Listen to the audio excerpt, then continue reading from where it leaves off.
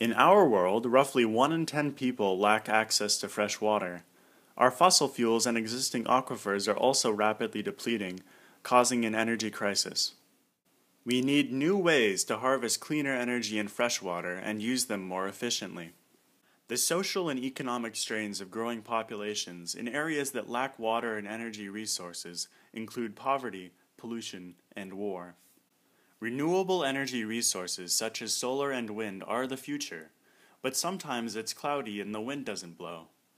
Electric grids do not have storage abilities, which means that input and demand must be continuously balanced. We believe the solution begins with engineers.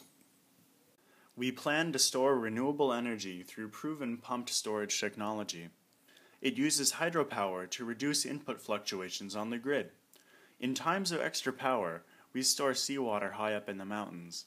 When we need more power, we reverse the flow to generate energy.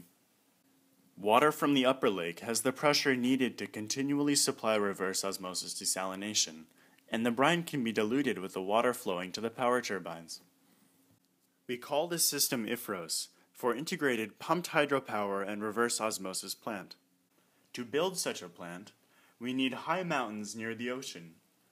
We're looking at places like Los Angeles, Chile, and Jordan at the Red Sea. A plant like IPHROS could even provide power, water, and jobs to refugees of the Syrian humanitarian crisis. With a joint team of American, Jordanian, and Israeli students, we are tackling this mega engineering project.